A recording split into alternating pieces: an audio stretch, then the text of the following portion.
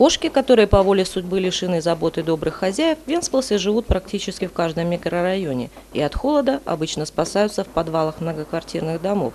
Сейчас в городе активно идет процесс реновации домов. Вентиляционные окошки, ведущие в подвал, закрываются, и кошки в лучшем случае остаются замерзать на улице. Мария, председатель Венспилского общества защиты животных, последние три года вместе с единомышленниками старается хоть как-то решить проблему бездомных кошек. Животных стерилизуют, выхаживают, стараются пристроить в хорошие руки. Но, несмотря на все усилия, животных на улице меньше не становится.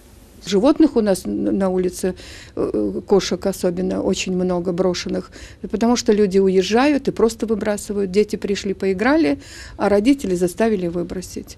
Вот такая страшная проблема существует. Недавно Мария придумала и осуществила один дерзкий проект. С разрешения жильцов был оборудован вольер, где кошки могут содержаться на ограниченной территории. Свою идею Мария представила и в городской думе, и в управляющей организации Венспилс некостами Ипашем.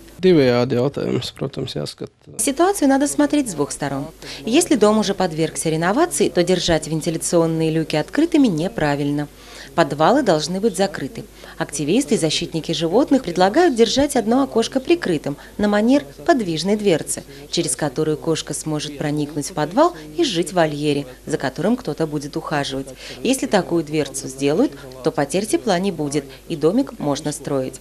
Цивилизованный и гуманный подход к решению вопроса бездомных животных может вызвать интерес и у других. И первый автономный кошкин дом не станет последним.